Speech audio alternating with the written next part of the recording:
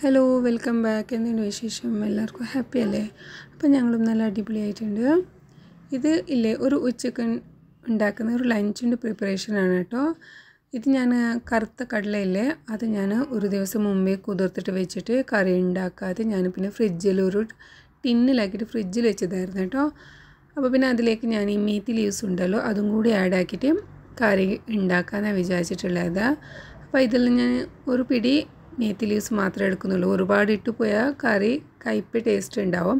അപ്പോൾ അത് കൂടി പോകരുത് അവരവരെ വീട്ടിലുള്ള ആൾക്കാർക്ക് മാത്രമായിട്ട് ഉണ്ടാക്കുന്ന കറിയല്ലേ. അപ്പോൾ നമുക്ക് കുറച്ച് മാത്രം ഒരു പിടി മേത്തി ലീവ്സ് ഇതിൽ ഉണ്ടാവും കേട്ടോ.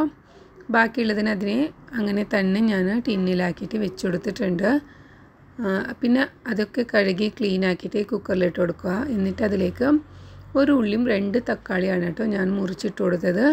പിന്നെ ഇതിൽ ഞാൻ ചില്ലി പേസ്റ്റ് ഇങ്ങനെ അരച്ച് ഫ്രിഡ്ജിലാണ് വെക്കുന്നത്. അപ്പോൾ അതിന്റെ വെള്ളം ഊറ്റിയെടുത്തതായിരുന്നു അതും കൂടി ഇതിലേക്ക് ആഡ് ആക്കുക ഇതിലിപ്പോൾ ഏകദേശം ഒരു നല്ല എരിവുള്ള ചില്ലി ആയതുകൊണ്ട് ഞാനിതിലേക്കില്ലേ ഒരു ടേബിൾ സ്പൂണും ചില്ലി പേസ്റ്റ് ഇട്ട് കൊടുത്തിട്ടുണ്ട്. മല്ലി ഒക്കെ ഇട്ടിട്ട് അരച്ച് വെച്ചതായിരുന്നു. പിന്നെ ഇതിന് പാകത്തിനുള്ള ഉപ്പും വെള്ളവും ഒക്കെ ഒഴിച്ചു കൊടുത്തിട്ട് കുക്കറിൽ ഒരു രണ്ട് വിസിലാക്കിയിട്ട് എടുക്കുക അപ്പോൾ ഇത് കുക്കറിൽ രണ്ട് വിസിലായിട്ട് അതിന്റെ വിസിലൊക്കെ പോയി കഴിഞ്ഞിട്ടാണ് ഞാൻ തുറന്നത്. എന്നിട്ട് ഇതിലേക്കില്ലേ കടുക് താളിച്ചിട്ടിട്ട് പൊട്ടിച്ചിട്ടിട്ട് കൊടുക്കണം. അപ്പോൾ അതിനായിട്ട് ഞാൻ വേറെ പാത്രത്തിലാണ് കേട്ടോ ഈ കറി ഒഴിച്ചു കൊടുക്കാൻ പോകുന്നത്. അപ്പോൾ ആ ചീനച്ചട്ടിയിലേക്ക് ഒരു ടേബിൾ സ്പൂണോളം ഓയിൽ ഒഴിച്ചു കൊടുത്തിട്ടുണ്ട്. എന്നിട്ട് അതിലേക്ക് കടുകും വെളുത്തുള്ളിയും ഇട്ട് കൊടുത്തിട്ടുണ്ട്. അത് പൊട്ടിയതിന് ശേഷം കറിയൊക്കെ ഒഴിച്ചു കൊടുത്തിട്ട് ഒന്ന് തിളപ്പിച്ചെടുക്കാം.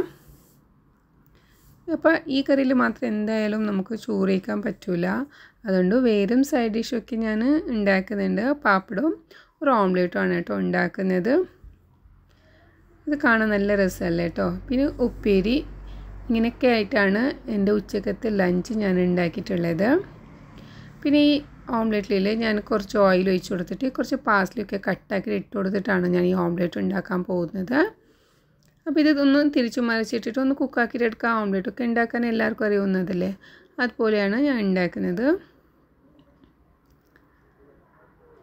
അപ്പോൾ എന്റെ ചാനൽ നിങ്ങൾ ആദ്യമായിട്ട് കാണുന്നവരാണെങ്കിൽ ഒന്ന് സബ്സ്ക്രൈബ് ആക്കി സപ്പോർട്ടാക്കണേ ഇനിയിപ്പോൾ ഇതാ എല്ലാം റെഡിയായി കഴിഞ്ഞിട്ടുണ്ട്. ഇനി വിളമ്പ ചോറ് കറി ഓംലേറ്റ് പപ്പടം ഇതൊക്കെയാണ് എന്റെ ഉച്ചക്കത്തെ ലഞ്ച് അപ്പോൾ എന്തായാലും നിങ്ങൾക്ക് ഇഷ്ടമാവുകയാണെന്ന് വിചാരിക്കുന്നത് ഇഷ്ടമാണെങ്കിൽ ലൈക്ക് ആക്കണം ഷെയർ ആക്കാനും മറക്കല്ലേ?